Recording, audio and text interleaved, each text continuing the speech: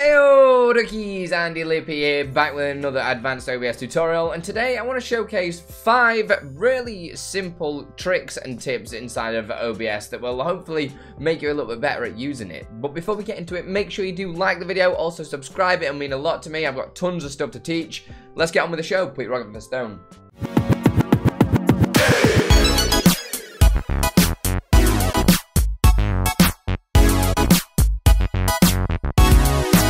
First one I want to talk about is OBS themes. So you can change the whole entire look of OBS. I've covered two of these in a video before. I've covered a Twitch theme and also a Streamlabs theme. You can check out one of them videos just up here or in the description below. But if you go to the OBS website, the link's in the description as well. And you can see there's a couple of different themes on here. You can even create your own as well.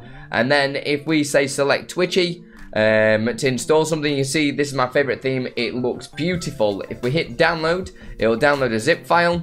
We just open that zip file, open that file inside there, choose whether we want the font with it or not. We want it with the font.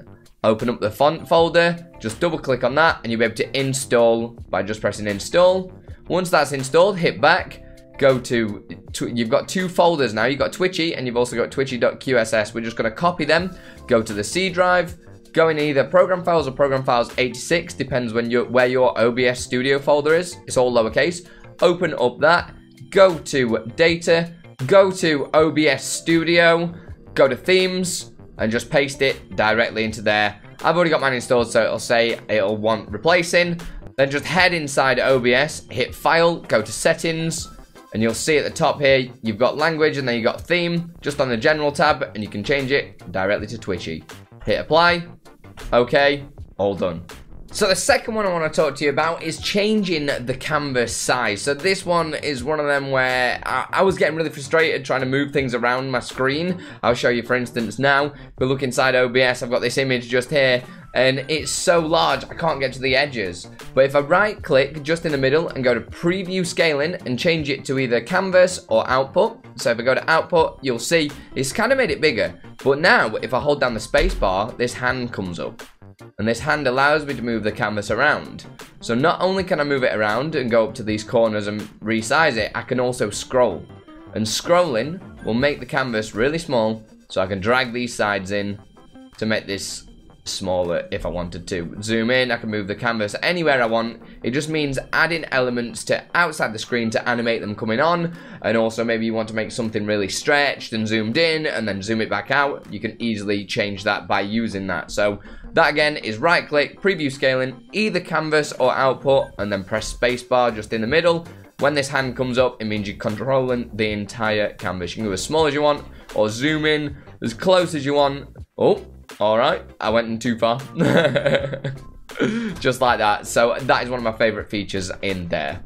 So the third third one that I want to talk about, I can't even count today, is using different scene transitions for different scenes. So if you're using a plugin such as Transition Override Matrix, this won't work for you, but this is so anybody can use it without having to use a plugin pretty much. So let's take a look at OBS. I've got three scenes. I've got scene one here, Scene 3, ooh, and Scene 2, which is a Teletubby, because that's what we all want in life. And I'm currently just cutting between them using the cut transition just here. But say I want something different to happen if I ever go to Scene 1. I right-click Scene 1 and go to Transition Override, and I can choose from these just here. So I'm going to change it to fade. I could also change how long that fade is as well. So if I go down here, I'm going to say, uh, um, we'll change it to a thousand, just like that. So that's one second. Even though I'm on cut here, as when I move to scene 2 it cuts, but if I go back to scene 1 now, it'll do a 1 second fade. That list that you've just seen just here, say if I want to go to scene 2 now and create another one, I'm to call use my transition, which is the Andilippi split. It'll fade when I go to uh, 1, but if I ever go to scene 2, it'll transition like that. Scene 3 is obviously going to cut because that, that's just using the pre preset just there. Back to 1, it'll always fade.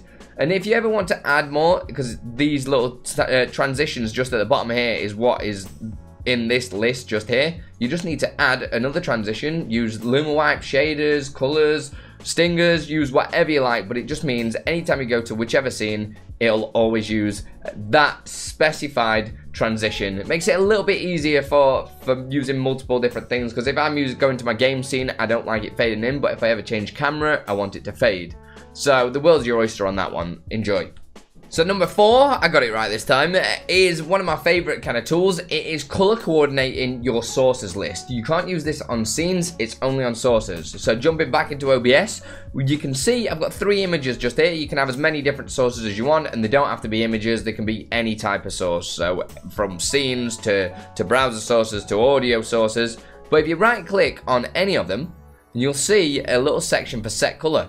I can press set color turn it into red, and then in my sources list, it'll be red. So it makes it a bit easier to organize multiple sources. So maybe your audio ones, you want to put them all as a red color, or maybe all your browser ones as a yellow color, different things like that. You can also right click, set the color, and also use a custom color. So you can use absolutely any color under the sun, just here, and it'll change to that color just there. It just makes keeping OBS nice and tidy, especially if you're like me and you're like adding tons and tons of things into your streams. It just keeps it all under wraps so you can easily find different things on there. Wicked. And last but by no means least, I keep seeing people not rotating sources or making things look a little bit different. I'm not talking about 3D transform plugins or anything, but make sure you are subscribed because I'm going to go into that at a later date.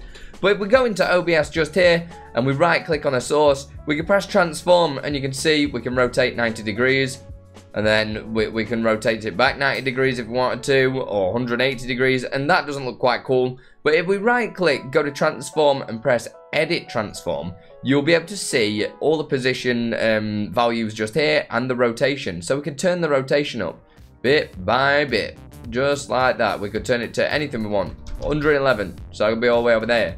So as you can see, as I'm rotating this, it is rotating around this top left point. And the reason is because the positional alignment is not set to center. If I change it to center, it now, whenever I turn this, if I go now 180, you'll see that it rotates around that central point. So 50. You can't, you can only go 360 to minus 360 as well, guys, just to let you know. Uh, and that's pretty much how to add set rotation to absolutely any source. So you could just kind of just spice your stream up a little bit by maybe just putting your camera a little bit offset, just like that. Press done. I don't know. It, it, just do you. Whatever makes you happy. But that was five tips that I've found. I have covered these in previous videos, but I thought I'd just make a big mashup of them all together so you don't have to watch different videos on that one. I will be doing more of these as I get more quick tips coming, so make sure you are subscribed. Let's do it. Like, subscribe, you know what to do, help with the YouTube algorithm. If you've got any questions or you've got your own little tips, let me know in the comments below and I'll definitely cover them on the channel. Also join the Discord if you ever need any help as well. Okay guys, I'll see you in the next one. Put your rock of the stone. Much love. Thank you.